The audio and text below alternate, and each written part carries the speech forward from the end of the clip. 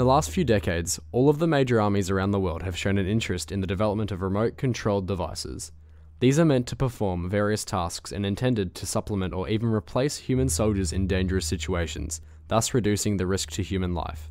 The tasks of these remote controlled devices are many, ranging from reconnaissance, target identification, ammunition, equipment resupply, transport, engaging, destroying designated targets, etc., etc. The Serbian army, in a desire to follow international arms development trends in unmanned ground vehicles, began developing a series of its own vehicle. One of these projects was the short range anti tank system named simply Milica, a Serbian female name.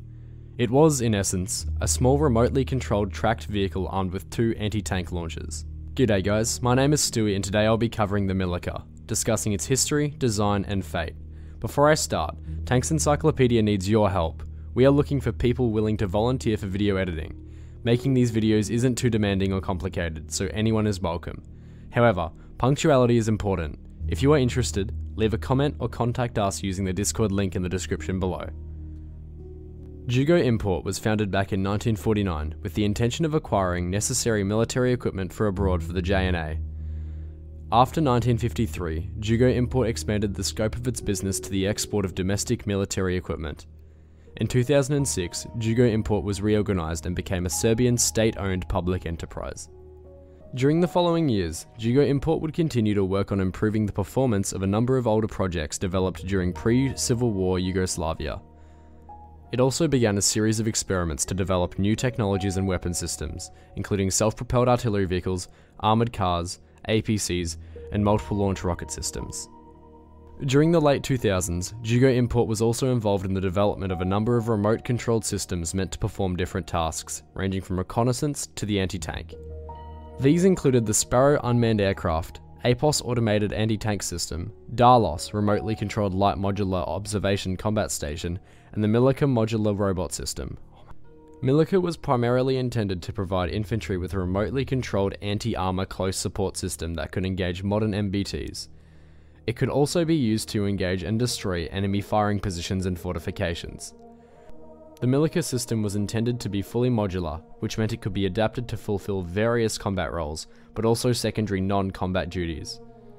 Other roles included helping infantry with gathering intelligence, monitoring and observing areas that were not yet fully secured, transporting spare equipment, ammunition, and even transporting wounded soldiers. It was presented for the first time to the public at the Military Partner 2009 fair held in the Serbian capital Belgrade. Inspiration for the Milica's overall design was taken directly from the BVP M80 infantry fighting vehicle. Back in the 1960s, the JNA placed a request for a fully protected infantry fighting vehicle. From this, the BVP M60 was developed. As it proved to be unsatisfactory, a new model, BVP M80, was therefore developed to replace it. It was a large improvement in contrast to the earlier model and was provided with a fully rotating turret and anti-tank rockets. From 1976 to 1988, around 658 M80s were built. Despite their old age, a number of these vehicles are still in use with the Serbian army.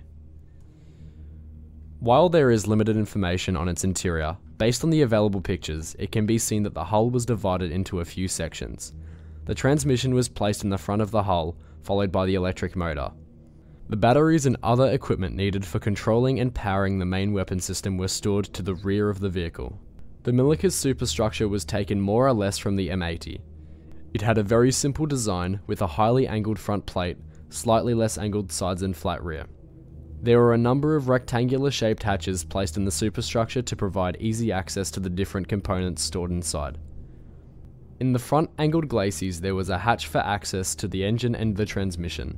Three hatches were placed on top of the superstructure, with two in the front and to the rear. The last hatch was placed at the rear. Next to it, there was a round shaped plug, possibly used for powering the main motor and system batteries. All of these hatches were held in place by simple screws, so removing them was quite easy. The Milica's superstructure was built using simple welded steel plates. The thickness of these plates is unknown, but probably only enough to provide protection from small caliber weapons. Its great protection was its relatively small size. The Milica was 1.9 meters long, 1.72 meters without the main armament, 0.77 meters wide, and had a height of 0.77 meters. The suspension was another element that is quite similar to that of the M80, albeit with one more road wheel. The suspension consisted of six small road wheels, which were independently suspended with torsion support units. In addition, there was a front drive sprocket, rear idler, and three return rollers. The sources do not provide information about the engine type or its power output. What is known is that an electrical motor was used. With a weight of 250 kilograms, its maximum speed is only 3 kilometers an hour. Its effective operational autonomy was noted to be 2 to 4 hours. It can climb a 30 degree slope and is supposed to possess amphibious capabilities. A H-shaped metal firing platform was bolted to the superstructure top. This is then used to house either the two 9mm M79 OSA or a single 12cm M91 anti-tank rocket launcher. The 9cm M79 OSA anti-tank rocket launcher is in service with the Serbian army and its purpose is to engage enemy armor and fortified positions. Its effective range is 350 meters and the maximum effective range is 650 meters. Armor penetration power is 400 millimeters of rolled homogeneous armor. The elevation of the Milica weapon platform was minus 20 degrees to plus 50 degrees, and the traverse was 350 degrees. It could not rotate a full circle. Elevation speed was 3 degrees a second, while the traverse speed was slightly faster at 6 degrees a second. The two launches were fired independently, once both tubes were fired, the Milica had to be driven back to a safe position to be reloaded. Depending on the combat requirement, the Milica could be armed with a 12cm M91 rocket launcher for improved anti-tank capabilities. This is a disposable light shoulder-launched rocket launcher that is in service with the Serbian army. The M91 consists of two components, the launcher and the shaped charge rocket projectile. The shaped charge warhead contained phlegmatized explosives and a contact type electric superquick fuse. Its penetration power against rolled homogeneous armor is around 800 millimeters. Secondary targets, like fortified enemy positions, could be engaged at ranges up to 400 meters. Currently, there is no picture of Milica being armed with this weapon. While these two were intended to be the Milica's primary armament, other weapon systems, depending on the field requirement, could be used instead. These options ranged from different types of machine guns, grenade launchers, to possibly even small caliber cannons. The Milica was a wireless remote controlled system that was operated from a concealed command post. The effective wireless control range is around 500 meters.